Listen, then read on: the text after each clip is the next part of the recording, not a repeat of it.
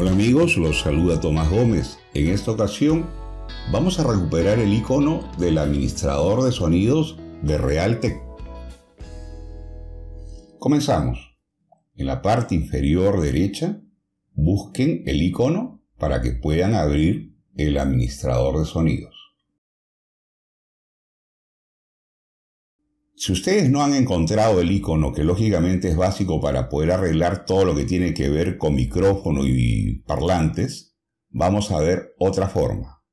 Vamos a ver el administrador de tareas, lo abrimos, vamos a inicio, vamos a buscar Realtek en inicio, en la parte inferior está Realtek, y como ustedes ven, está deshabilitado. Lo que vamos a hacer, lógicamente, es habilitarlo y confirmar luego de que está habilitado.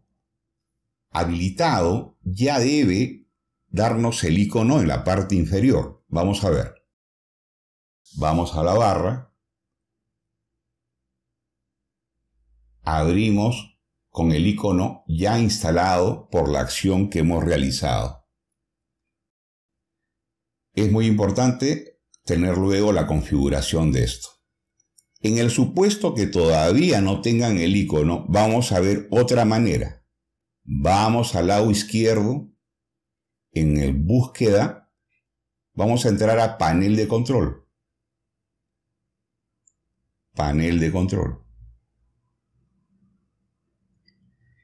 Si ustedes no tienen de este tamaño las letras, pudiera ser que lo tengan así un poco más pequeñas. Lo que tienen que hacer es habilitar una medida mayor para que encuentren rápidamente el administrador de sonidos. Al abrir esto, abrirá también el administrador de Realtek. ¿Qué es lo que falta?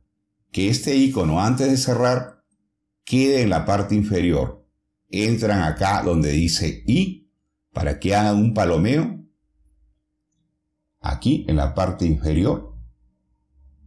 Para que quede en lo que es notificaciones. Le dan a aceptar, cierran y ya en la parte inferior debe aparecer el icono. Vamos a darle al icono. Pudiera ser de que ustedes, pese a esta acción, todavía no hayan recuperado su administrador de sonidos, o en todo caso el icono. Vamos a ver otra manera de hacerlo. Quiero decirles de que no todos los controladores Realtek son iguales. Eso lo vamos a ver después. Entramos a la letra C donde están los programas. Vamos a buscar el programa de Realtek.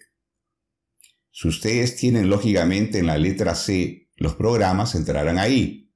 Si lo tienen en otro lado del disco, ustedes ya saben por dónde entrar. Archivos de programa, entramos ahí, vamos a buscar Realtek, vamos a rebajar un poco acá. Aquí está Realtek, entramos aquí, abrimos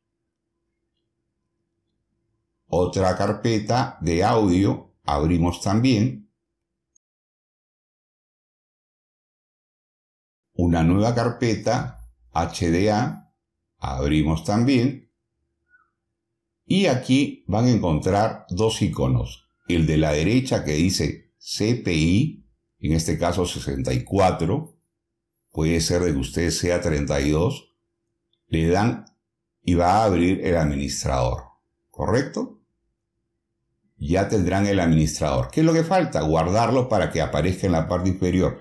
Igual que en la vez anterior, palomeamos acá, mostrar icono en el área de notificaciones. Cerramos y en la parte inferior ya debemos tener el administrador de sonidos o el icono para que entremos al administrador de sonidos de Realtek.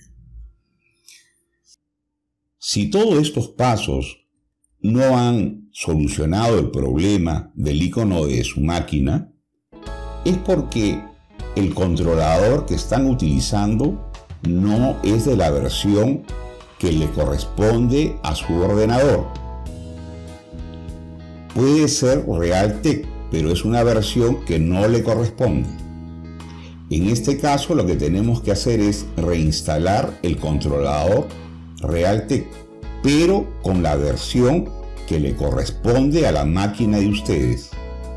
¿Cómo lo vamos a hacer? En el próximo video vamos a ver cómo ver primero qué versión es la que ustedes tienen que utilizar y lógicamente vamos a hacer la instalación completa para que no tengan ya ningún tipo de problema en audio y sonido. Mi nombre es Tomás Gómez, les agradezco la compañía, suscríbanse al canal, déjenme un dedo arriba. Hasta la próxima, gracias.